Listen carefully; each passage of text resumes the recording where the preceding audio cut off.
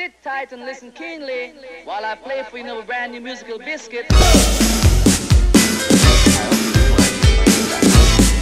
time I bet you the band.